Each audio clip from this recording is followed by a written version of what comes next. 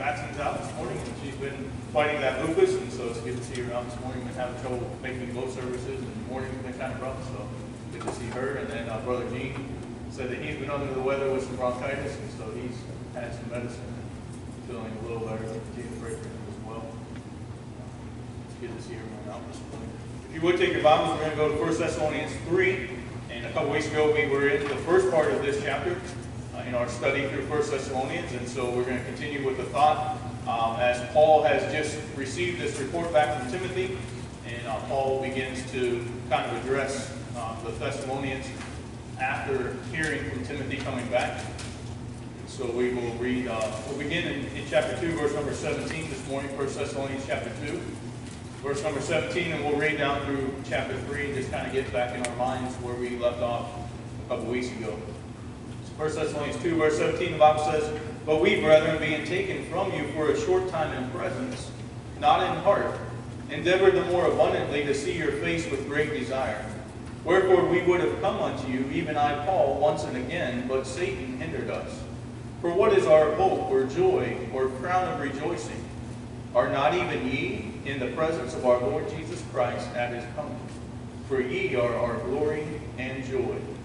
Wherefore, when we could no longer forbear, we thought it good to be left at Athens alone, and sent Timotheus, our brother and minister of God, and our fellow laborer in the gospel of Christ, to establish you and to comfort you concerning your faith, that no man should be moved by these afflictions.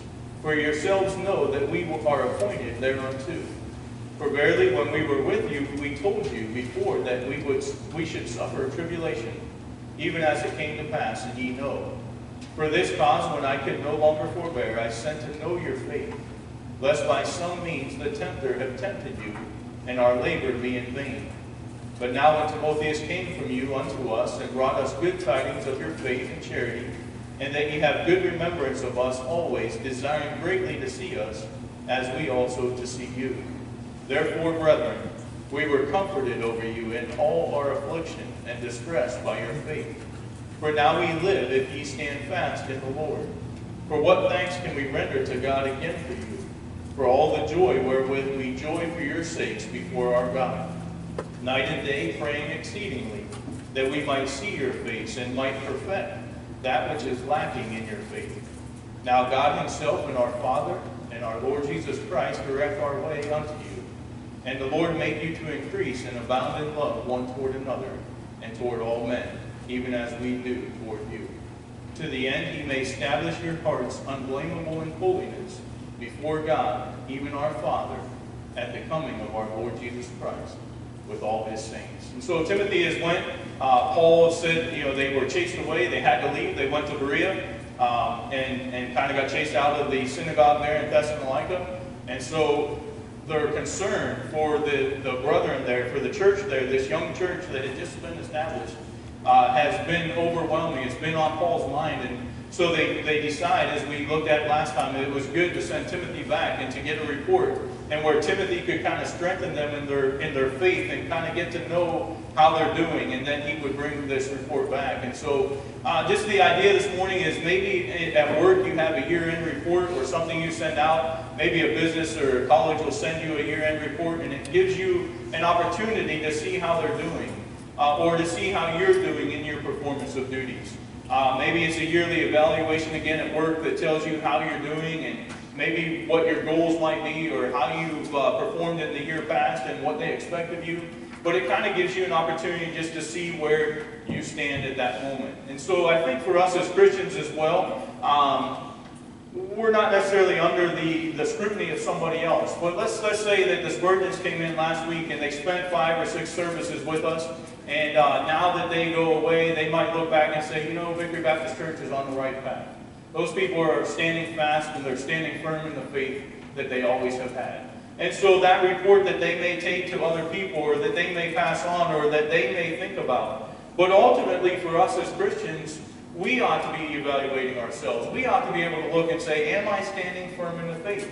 What is the state of my charity towards my brethren and my fellow church members? What's the state of my charity towards those outside the church and my community? And so I, I, think that as Paul breaks this down, as he begins to look at this report from Timothy, there's some truths that we can pull from it this morning. So that's what we want to look at. We're going to look at verses 6 through 13, Lord willing, if time permits. So let's, let's pray, and then we'll begin looking at this this morning. Lord, once again, we bow before you. Uh, Lord, just thankful for your work in our hearts and lives. Lord, to be able to stand before you this morning, saved by your grace, and on my way to heaven because of you and your willingness to come to this earth and to die for my sins. Lord, for all of us that know that this morning, we have a desire to serve you and to love you. And Lord, I pray that this would just be a reminder of us to keep our focus on you and our focus on serving you, uh, that we may just fix things that aren't right, that we would get back in line with where we ought to be. For anyone that may not be saved this morning, that they would realize their need of a Savior. Uh, understand, Lord, that they need to place their faith and trust in you, and that they may be saved this morning, and their lives will be changed completely. Lord, I pray that you meet with us this morning, that your Holy Spirit uh, would speak through me, that you would teach all of us something, Lord, this morning. And otherwise, Lord, we are wasting our time even being here. I pray that you'd help us. It's in Jesus' name we pray. Amen. So verse number 6, we see where Paul says, Now when Timothy came back uh, from you unto us and brought us good tidings. And so Timothy has went. Uh, he's now returned and he's, he shared with Paul and Silas and those that were there uh, this report. And so we see that he says it's of good tidings. It's a good report. Uh, he brings back a good report of how they're standing. Uh, and so the first thing we see there in verse number 6 is that this report uh, is of their faith and charity. And so number one, their faith is that they're, they're trusting God. And so Paul and Timothy and Silas, when they traveled into Thessalonica, began to teach in the synagogues, and they, they began to uh, proclaim Christ, and they saw people's lives change. People come to know Christ as their Savior, as we saw in chapter 1, and they began to turn from idols to serve the living and true God. So now, now Timothy has opportunity to go back and to see that, hey, they're standing firm in their faith. They, they have grasped that, and they continue to serve God. They continue to reach out to see people saved. So the second part, he says there is their charity, their love for one another and for others. Uh, he, that idea that we love as Christ loves. And we preached on this a few weeks ago, and then Brother Spurgeon hit the idea of charity as well in one of his messages. And so that, that love of God, the love that God loved us without anything in return. And so, so many times in our world, we see people that love others because they get something back. They love somebody because of what it gives to them, or I love you, or I do this for you because of what I get in return. God, God sought nothing in return. Um, God knew exactly, as we've heard before, what He was getting when He saved me. Um, and yet He saved me anyway. Yet He died on the cross to save me from my sins. That's love. That's true love.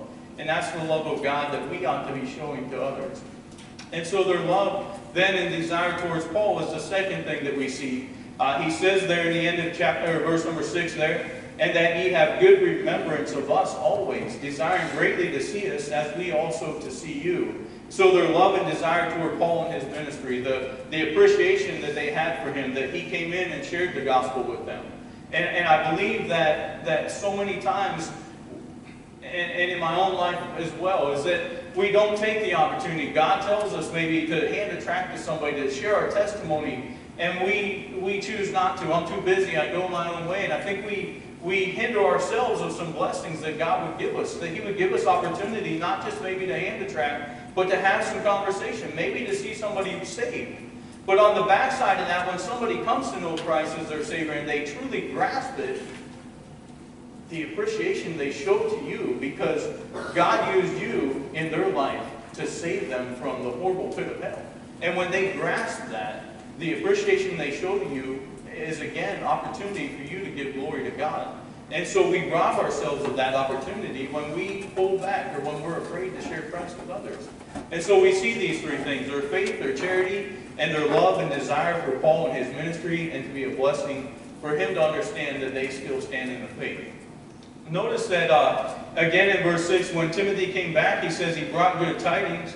Uh, and he says, verse 7, Therefore, brethren, when we were comforted over you in all our affliction and distress by your faith. Uh, so this news convinced Paul that Satan's plans to disrupt God's word. Uh, he calls them there in verse number 5, the deceiver. Um, that Satan would try to deceive them, that Satan would try to, to put things in their path or to draw them away from their faith, that, that Satan would try to get their attention on something else besides God and besides serving God. And listen, church, the, the devil's doing the same thing to us this morning. When we want to come to church, Satan will throw out a bunch of things that we can that can draw our attention. A lot of things going on in our world today that can draw us away. Some of those are being good things, but it takes us out of where we ought to be. Sometimes we do want to go on visitation, or we do want to be part of outreach, but then Satan gives us something, the deceiver throws something out there, and it changes our focus, it changes our attention to something else. And so we need to understand that Satan is the deceiver. Paul calls him the deceiver. That's a, just a simple name for him, but it ought to ring a bell in our minds that, man, not only is there a, a, an enemy out there, not only am I fighting an enemy that's as a roaring lion, seeking whom he may devour, but if he realizes he can't devour me in my faith, he's going to try to get me off track by deceiving me. So he may not totally destroy me this morning, but can he make me ineffective if my attention's somewhere else? If I'm not doing and, and focused on what I ought to be doing? Of course he can. And so he's happy with whatever he gets. And so again, ought to be a, a thing, a warning to us to keep our attention on what's right and what we ought to be doing. So notice the attention that Paul puts on, or the emphasis Paul puts on their faith. Uh, again, I would say in verse number 7, he says that they were comforted over you in all our affliction and distress by your faith. So it's their faith in God, their salvation that they have grasped a hold of, this salvation that the Bible says in 2 Corinthians 5.17 makes me a new creature in Christ, a new creation. I now have new desires. I now have a new purpose in life. There's new things I, I uh, follow after. There's new desires in my heart. And so Paul's saying it is your faith that has comforted us. So when you see a Christian that gets saved, and they get into church and they begin to learn about Christ and their heart's on fire, they, they have a desire to know all they can, Again, that's a comfort to us, and it's a comfort in whatever afflictions or, or trials and troubles that we have in life, and it makes it worth every day. We've mentioned that about the school, haven't we? We've seen two kids saved this year, a first grader and a second grader. Not every day of school goes exactly how we planned it. Not every day starts out with bright sun and smiles and we're just as happy as we can be. There are trials and there are tests every day. There are days that we would just say, man, I could like just go back to bed, right? I know. But when we see a little kid come to know Christ as their Savior, we look back at all those days and say, I would do them again to see somebody come to Christ. And so Paul's saying there, uh, it's your faith. But notice, this is the fourth out of five times that Paul says the word faith or puts faith. Notice in verse number two, he says at the end, and to comfort you concerning your faith verse number 5 there, in the middle, he says, uh, For this cause, when I could no longer forbear, I sent to know your faith. Verse number 6, he talks about their faith, the tidings of their faith and charity. Verse number 7, we've said it a couple of times, it, it comforted them in their affliction and distress by their faith. And then verse number 10, night and day praying exceedingly that we might see your face and might perfect that which is lacking in your faith. So there's this emphasis on their faith their solid trust in Jesus Christ. And, and again, Christian, are getting into the Word of God and understanding who God is, what God has done for us. And, and by understanding Him and placing our complete faith and trust and allowing God to be God in our lives. Because God is good. And God does things according to His will and purpose. And not always do we see the benefit of that. Uh, but that was one of the things I told the, the uh, young adult class this morning is that when I become a disciple of Christ, I simply place my life, I, I place my trust in God, and I allow Him to be God. And knowing that no matter what He puts me through, no matter how hard the trust or the uh, trial or, or test today might be, it's for a purpose later. And I'll pass this test because God brought me through that test. And so not always does life go the way we want it to, but we need to trust God that He knows best for us. And so it's our faith, and, and Paul puts a great emphasis on faith. Five times here in chapter 3, um, in these first uh, 10 verses, that he mentions their faith. And, but I would also say that our relationship with God is, when our relationship with God is correct, all other things come in line. So I believe that Paul is pointing out their faith, their trust in Christ, getting that relationship with God right, and then my love for the brethren, my love for the world, my desire to serve God, all that will come in line when my relationship with God is correct. And so our relationship with God is most important, and we need to focus on that. We need to keep that right. And then everything else is kind of incidental? Everything else is just life. But my relationship with God is that source of power. That's that source of life that allows me to live life on all the other uh, aspects of life that are out there. So these three things, I believe, are indicators of our faith and our relationship with God. So I ask us this morning, what is the state of our faith in God? Where do we stand this morning? Are you saved? Do you know Christ as your Savior? If you do, are we living what we believe? Do we live what we believe? Do we trust God to be God in our lives? What is the state of our love toward one another and others? How do we love our fellow church members? Is there something between us and somebody else that we need to get right? Are we holding grudges? Are we holding things that ought to be given over to God and allow Him to deal with? How about our community? Do we have a burden to see people saved? And I'll tell you right now, I don't think we do. Uh, I'll tell you, I think we fail in this area. Yeah, we might we might verbalize it, but we're not putting action to our words. There's a lot of people in our community that need Christ this morning, and I don't believe we're doing what we could be to reach them, and it's a shame. What is the state of our love and desire toward fellow Bible believers and biblical ministries? And, and I'm talking about solid Bible ministries. Do we support them? And I know we have a lot of missionary things, and, and that's a good thing. But let's keep our focus on what's right, and let's help those that are doing right. All right, so by the time Paul wrote this, he had already heard from Timothy. Verse 6, um, he says, But now when Timothy came from you unto us. So Timothy's returned, and Paul has this report. Um, and he understands that they had withstood great temptation, as he says in verse 6. But Paul's delighted that they were strong in their faith and charity. Um, Paul's pleased that they wanted him to come back and minister to them. And he again, in the end of verse 6, reminds them that he also has a desire to see them. He says, Your desire to see us, uh, desiring greatly to see us, as we also to see you. And so Paul's heart really was people and, and pouring himself into them and to see them grow in their faith. But notice in verse number 7 again, the comfort that is received. Number 2, the comfort that was received. Uh, Paul says in verse 7, Therefore, brethren, we were comforted over you in all our affliction and distress by your faith. So Paul's pleased and comforted that his spiritual children have been strong in the faith. And, and again, if we would understand that, maybe as a disciple of Christ, my ultimate goal is to become a disciple maker. My, my, my purpose in becoming, and Christ, I might say backwards, God's purpose in making me a disciple is that I would then go out and make other disciples. So when I do that, my, my burden to be see people saved ought to be not just to see them saved, but to see them grow in their relationship with God. Get into church, get into the Word of God, grow, and know the things that I know. Why? Ultimately, that they can become a disciple maker, that they can go out. And, and Dr. Rumble preached that in Sunday school two weeks ago, um, that we would get out and make disciples, and that we would invest in the lives of people. Again, um, all the things I can amass in this world, I cannot take one of them with me other than the lives of other people. When I invest in the salvation or in the soul of another person, that's the only thing that will be in heaven with me when I die. So we need to focus on those things. We need to be about our Father's business, what He's left us here for. So Paul mentions that this comfort came amidst affliction and distress. Understanding their state of faith, understanding that they were uh, still growing, they were still serving God, helped Paul in his affliction. And it seems that Paul's affliction and distress never stopped. Um, but his, his focus wasn't on his distress, was it? When Paul's sitting in prison, what's he doing?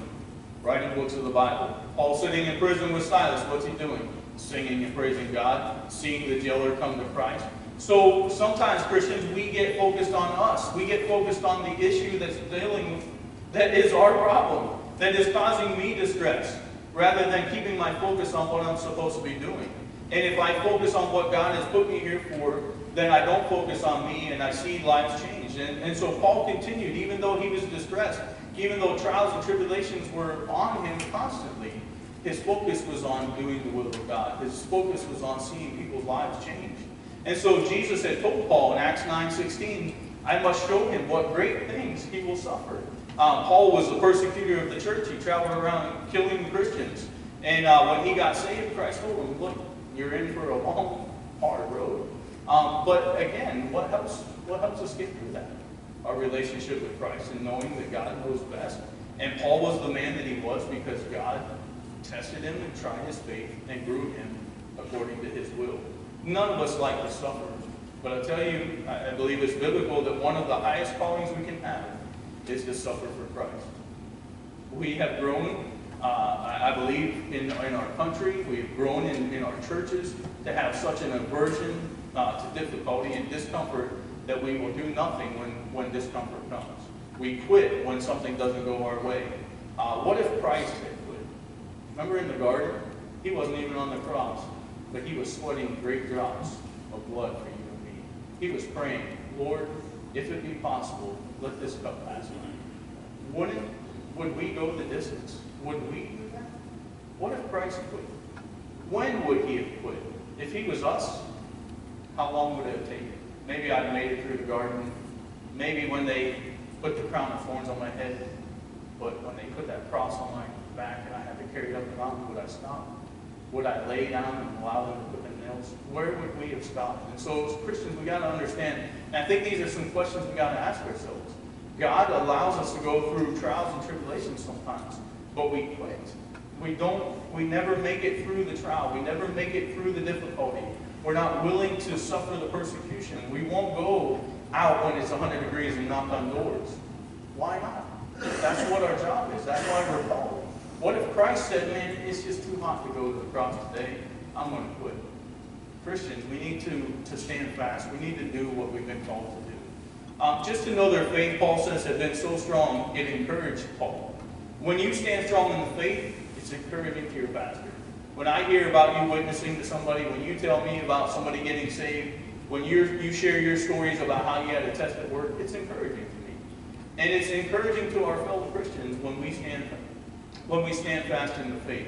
And so we need to. We need to do it to encourage one another, and I believe it's what we are called to do. Notice verse number 8.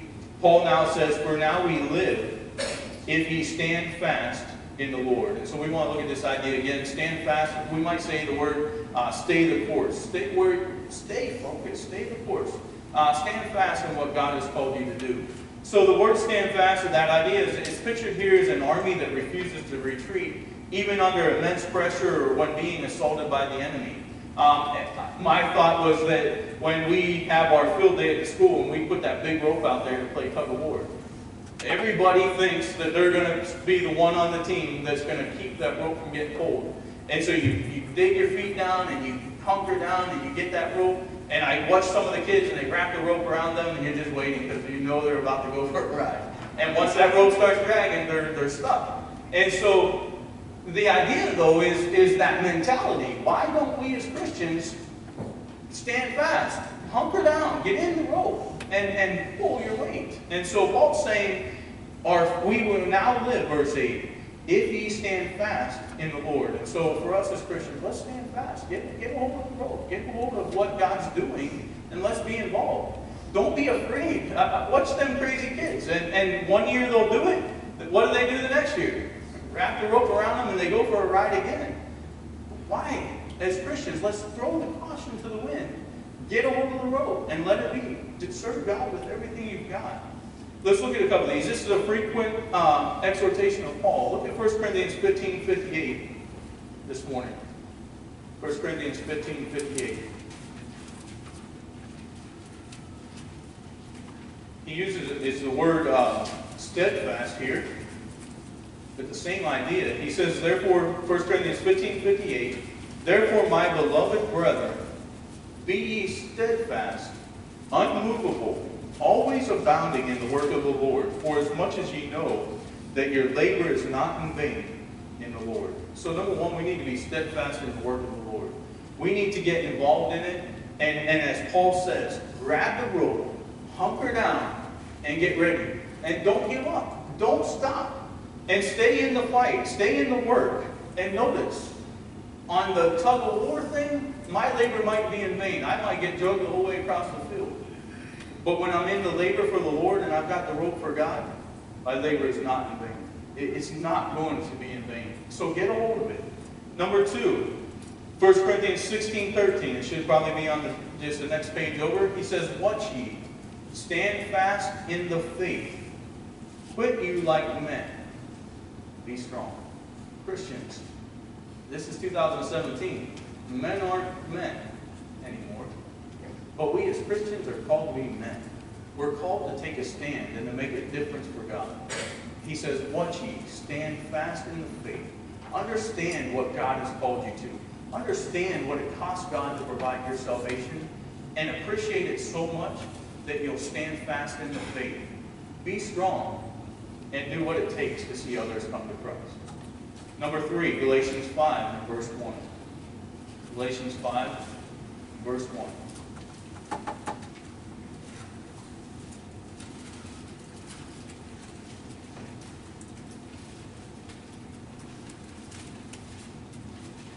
Galatians 5 and verse 1, he says, Stand fast, therefore, in the liberty wherewith Christ hath made us free, and be not entangled again with the yoke of bondage. I'm giving freedom in Christ, freedom from sin, freedom from the world. And he says, grab the rope and forget those things. Don't get entangled with the world again. That would work about as well as me grabbing that tug of war rope and about the time they start yanking on the other end, grabbing my cell phone, hey mom, how are you? I'm along for the ride, right? He says, grab the rope in the Christian life. Forget the world. Don't get entangled again. God has made us free. He's given us freedom in Christ. So that we don't have to serve sin. We don't have to serve the flesh and the devil again. I have liberty in Christ. And again, Christianity today wants to take this and say, well, I've got liberty to listen to what I want to. I've got liberty to wear, to say, to do. That's not what this is saying. He's saying you have liberty, wherewith Christ has made us free, and be not entangled again with the yoke of bondage. We're free in Christ. Enjoy that freedom. Stay within the boundaries of Christ. All right, number four, Ephesians 6.11. Ephesians 6 and verse 11. The kids, uh, the young kids just went through here in their uh, armor of God. Number uh, Ephesians 6, verse 11, he says, Put on the whole armor of God, that ye may be able to stand against the wiles of the devil. Uh, you know, I, I think about it sometimes. God doesn't put us on some scary mission out there all by ourselves. He says, I've given you the armor. Put it on. And all I do is expect you to stand. Stand fast in what you know. And in on your understanding of who I am, knowing that I'll take care of you. Stand. Verse number 13, he says there, um, Wherefore take unto you the whole armor of God, that ye may be able to withstand in the evil day, and having done all to stand, stand therefore, having your loins girt about with truth, and having on the breastplate of righteousness. And so in this one, we, we can stand in the evil day, we can stand in the armor of God, and we can stand in the truth. And we, we need to stand fast in the truth that God has given to us. Number six, Philippians 1 and verse 20. Or Philippians 1, 27, I'm sorry. Philippians 1, verse 27. He says, Only let your conversation be as it becometh the gospel of Christ, that whether I come and see you, or else be absent, I may hear of your affairs, that ye stand fast in one spirit, with one mind, striving together for the faith of the gospel. We need to stand fast in a sense of unity, in a sense of purpose as a church and say, we're going to make a difference in Ocoee, Florida. We're going to make a difference in our little part of the world that God has given to us.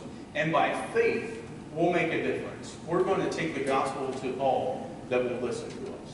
And, and the idea is stand fast. And, and as a group of people, we have to make the decision. We have to come together to do this work. Philippians 4, verse 1. Philippians 4 1.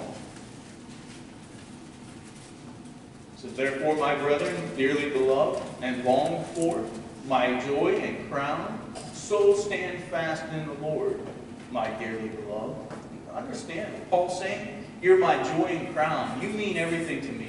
I've invested everything to see you saved and to see you serving God. Stand fast in serving God. Stand fast in what you know and then the last one, back to Second Thessalonians chapter 2. Second Thessalonians chapter 2 and verse 15.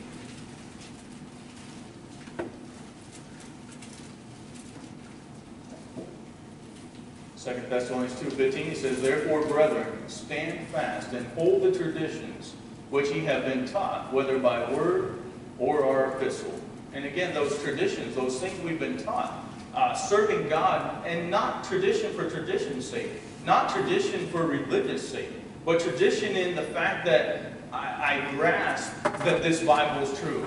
I grasp that this is the way we serve God. I grasp that this is the music that is honoring to God. And so, in the traditions as I have been taught, not tradition for tradition's sake, not tradition in just what we do, but our tradition in, in what has been passed down to us in and through the Word of God by godly men who have studied and prepared and have passed it on to us.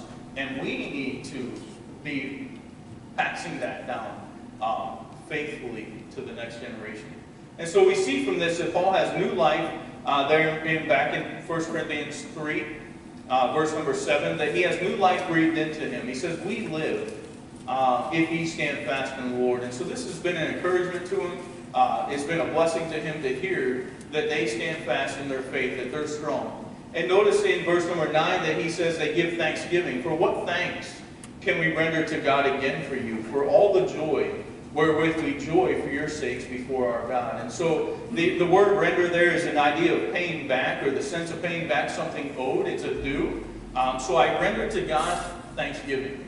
God has allowed me to be a part of a ministry. God has allowed me to invest in the lives of others. I've seen that investment come full circle where they're now serving God and they're seeing people saved and investing in the lives of others. What can I do but thank God? Because God has done it all. It's not me. I would never be saved if God didn't invest himself in me. So it's the least I can do is invest myself in someone else. And the glory and thanks goes to God. And so, like Paul, um, or Paul says here, it's, it's a joy uh, for your sakes before our God. So Paul, like John, has the same idea. John says in, in 3 John verse 4, I have no greater joy than to hear that my children walk in truth listen, what, not, I'm not John and I'm not Paul, but there's no greater joy for a pastor than to see his flock or to see the flock that God has allowed him to shepherd walking in truth, walking in the Word of God, living their lives in accordance with the Word of God. I, I believe pastors are discouraged, hearts, pastors' hearts get torn when we do things that are totally opposite to the Word of God. When we know that we've preached it, just covered that. And look at these, what, look what they're doing. It, it breaks the heart of a pastor. Um, again, is understanding, I know we're all human beings and we all make choices, we all make mistakes, we all do things.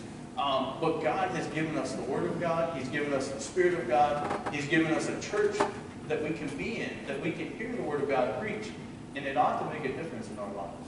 When we just turn our back on all that, when we quench the Holy Spirit, we don't avail ourselves of the preaching. Maybe we show up, but we don't listen, we don't apply it. It's heartbreaking. And so, not just for me, but for your fellow Christians, when they see those things in your life. Okay. Uh, so we, again, ought to be careful. And again, it's, it's self-focused, right? This report's coming from Timothy back to Paul, but we all can report on ourselves this morning. It's an inventory we need to do for ourselves. Where am I standing in my faith? Am I standing fast in the things God's called me to do? Would I bring joy to God if He was to look at my life this morning?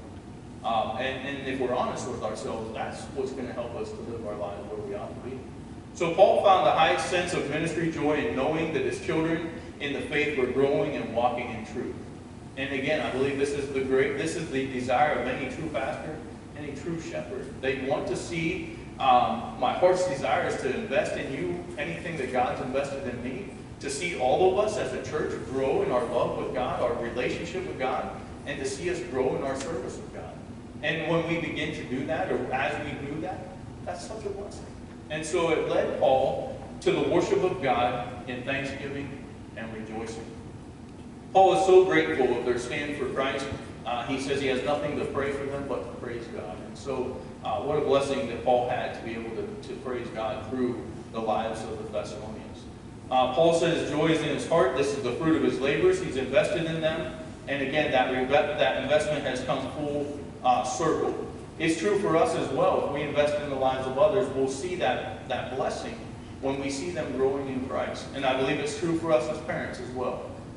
Never, I, I just wrote down there, never um, forego the opportunity to invest in your kids spiritually. Um, there's so many times we're walking around or we see something or something happens and it gives us opportunity to, to spiritually give them a lesson. Um, you'll never regret investing in them spiritually. But you'll look back at times and say, man, instead of doing that, I should have been investing in them. Instead of foregoing that opportunity, I should have made the most of it.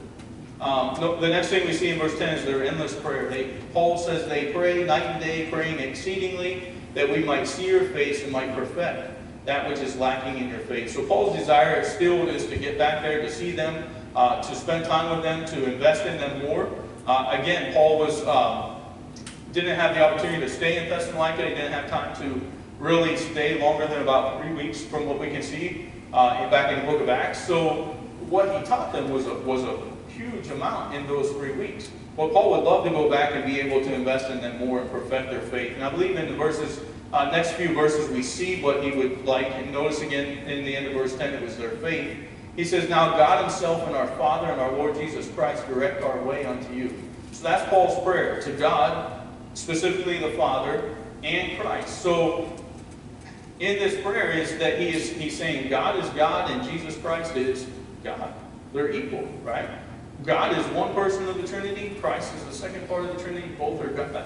Um, and his request is to God, uh, God the Father and our Lord Jesus Christ. Direct our way unto you. So his desire, his request is that God would bring him back to Thessalonica where he could invest more in the Thessalonians there and uh, to see them grow in their faith. And notice verse 12 and 13. I believe this is, is the uh, what he would perfect in them or what he would like to see. He says, And the Lord make you to increase and abound in love, one toward another and toward all men, even as we do toward you. So Paul wants them to grow in their faith and charity, in their love for others, as well as for one another, even as we do for you. And, and again, uh, that desire, I believe, is our love for God grows, and we understand his heart and compassion for other people. Our love for people grows. And then lastly, verse 13, he says there, that there, to, to the end, he may establish your hearts unblameable in holiness before God, even our Father, at the coming of our Lord Jesus Christ. And so the end, uh, maybe we would say the purpose or Paul's end desire, uh, and ultimately Christ's desire would be that we would be established in our hearts, unblameable in holiness. Uh, again, that the idea is that nobody can look at us and say, they have sin in their lives. Or, or look at us and say they're not unblameable in holiness. And, and this, again, is one of the, uh, the qualifications of a pastor or a deacon. Um, not that they're sin-free, right? Not that they uh, don't have a sin nature, but the fact that they're not living a life that would bring reproach. And so God, what Paul is saying here is to the end that he may establish your hearts unblameable in holiness before God. That we can stand before God and say, look, I, have confessed any sin that I know. I've asked you to search my heart, to reveal to me anything that's not right, and I will do all that I can to allow your Holy Spirit to help me to fix those things. Ask God to search our hearts. Ask God to make us and to cleanse us from sin. And then have a heart that will walk with God and will allow God to reveal those things to us. All right, so in holiness before God, even our Father, at the coming of our Lord Jesus Christ with all his saints. And I believe, again, this is a reference to what Paul's getting ready to teach in chapter 4 when he says there in verses number um, 16 and 17, For the Lord himself shall descend from heaven with a shout, with the voice of the archangel, and with the trump of God, and the dead in Christ shall rise first. Then we which are alive and remain shall be caught up together with them in the clouds to meet the Lord in the air. So shall we ever be with the Lord. So I ask you this morning, it could be today. He could come back before we make it to lunch today. How's your heart? Are you ready? If God came back this afternoon and you stood before him, what is it that you would wish you had made better this morning, or you had made right with him, or that you would have confessed? And so as we move into the um, invitation time, I would just ask you this morning that he may come back today. Are you ready? Are you saved this morning? Do you know him as your Savior? Have you placed your faith and trust in Jesus Christ for your salvation? If not, we're gonna start singing here in a few minutes. We'll have the invitation, uh, and you have opportunity to come forward. Come, come see me, and we'll get somebody, or I'll take the Bible and I'll show you how you can be saved this morning. For us as Christians, we've read through it. How's your faith this morning? How's your relationship with God? How's your charity for others? And what's your desire to see other people saved? And then, are we walking? Do we have, are we moving in the purpose that our hearts are unblameable in holiness before God? And what is it that we would fix this morning prior to God coming back? Because it could, it could be this afternoon. It's. Heavenly Father, Lord, we thank you for the morning. Thank you for the word of God again. And, and